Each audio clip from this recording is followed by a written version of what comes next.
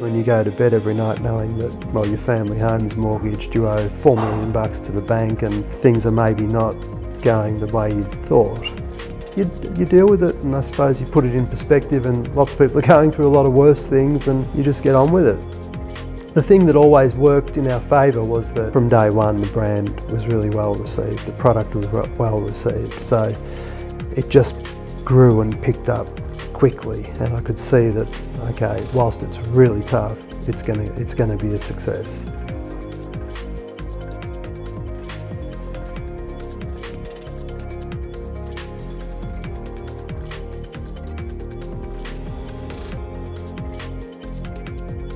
I bought 20 acres of land in a place called Fife and we were going to commission this greenfield site and start building from scratch. And, and at the same time, this Bladnoch had come onto the market.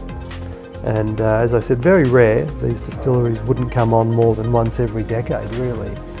And we've got a river running through our property, a 200 year old distillery. It's just, you know, it was a true serendipitous moment for this to come to me at the right time that I wanted to get into the industry.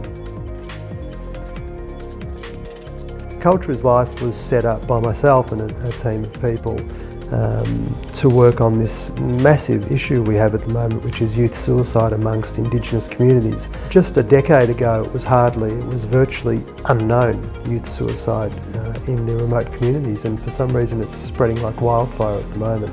And there's a whole host of reasons that that's happening, and there's a number of ways we're trying to work with the communities in terms of community-led, Aboriginal-led solutions. A lot of it is coming back to cultural strengthening and though whilst it's about uh, addressing this issue of youth suicide, it's also about the fact that ultimately we believe, and I believe, that the um, Aboriginal Indigenous culture is one of the most amazing, strongest cultures on earth. You know, 40,000 years of history and culture and connection to the Australian continent, which has been, you know, in many ways wiped away and forgotten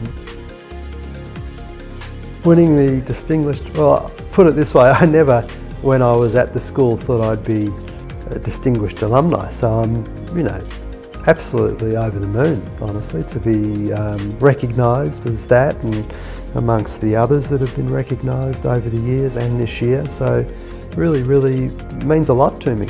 It's great to go through an institution which, when I arrived on the first day and you walk in, I was overawed. I mean, this was a school that I thought everyone's smarter than me.